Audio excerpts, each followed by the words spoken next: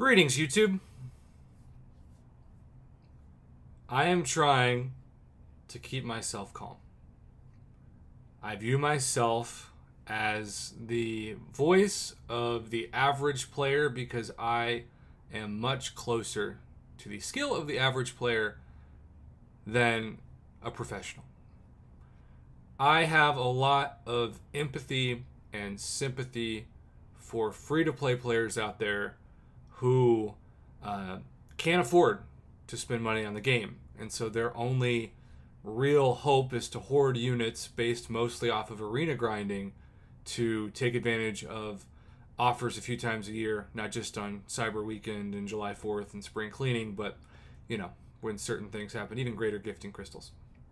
So when those free to play players are robbed, especially just a couple weeks before July 4th, of a chance for units that Kabam promised them because of to no fault of their own, the arena's bugged, then that should be of utmost importance to Kabam. I want to remind you all of how it was bugged. You can see when I go to the current Summoner Trials what was supposed to be from a couple Thursdays ago regarding the milestones. 13 units per milestone. And you can see it goes up very, very high from the first milestone all the way to, by the way, it increases from 13 to 14 units at milestone 11 and all the way up to 4.4 million. The problem is, of course, that the old system had half as many opportunities for units, and instead of 14 units per milestone, it had about seven, and it cut off at around 2.2, 2.3 million. So, when this Summoner Trials was bugged, it prevented everybody, but especially the people who depended on the units the most, those low spenders, those casual players, those free to play players, from obtaining a couple hundred units, which may not sound like a lot, but it could be the difference between whether or not they can really make a substantial purchase during July 4th weekend, which I remind you all is just one week from Friday. So I had said in a video, because we discussed with uh, several people behind the scenes, and Rich the Man, God bless him, uh, Kabam, uh, contacted Kabam personally, and they said by the end of this week we should have the trials correction. All of that's to say, I said, you know, if you're doing the math, probably 200 units, 20,000 battle chips, and um, maybe 20,000 premium shards.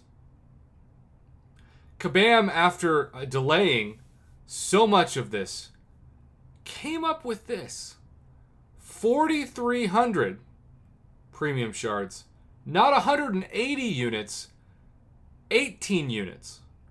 Not 20,000 battle chips, 1,200 battle chips, and 21,000 gold. I know that some people look at me as overly critical with my offer grades and my reviews of things. And even though I love the game and I do things like crystal opening commentaries to try to to, try to promote uh, good luck, to try to promote uh, people to want to play, I have to call shade where shade is present.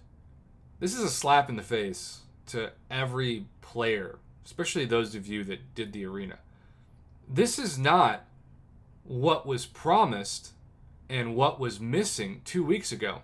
And if this was January or February, I'd I'd be angry for the player base, but I'd brush it off. But this is late June.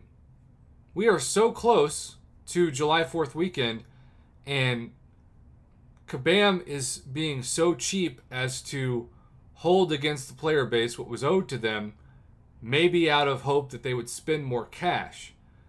Players don't mind spending cash when they trust the company and when they know the product is of the highest quality. It's decisions like this that make so many people question so much. I have talked to a therapist, and this is a true story, for like five years. And she'll say, Why do you have trust issues? And I'll say, Let me let me tell you about this Canadian company, Kabam. you know how like Canada is supposed to be really nice and generous, and I'm sure most people there are. This company kind of like is the antithesis of that. And every time I start to get real excited about things that they're doing in the game, they do a lot of good. To be fair, something like this happens where I just feel sick to my stomach because they would not have hurt what they call the economy of the game by giving out at least 100 units, at least 10,000 battle chips, at least 10,000 premium shards, at least 50,000 gold. It's not being greedy, it's just expecting to get what was promised and not delivered upon. Nothing more, nothing less. By Kabam not doing that, it makes me sick to my stomach.